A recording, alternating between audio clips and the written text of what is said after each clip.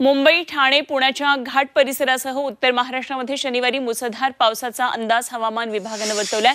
राज्याच्या उर्वरित भागात हलका पाऊस पडण्याची शक्यता आहे.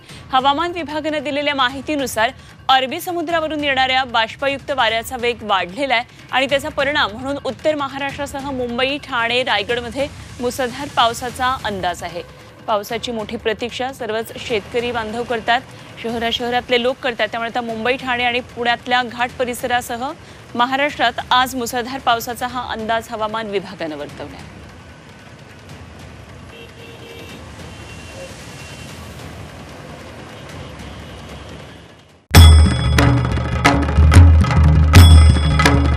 भंडाऱ्याची उधळण.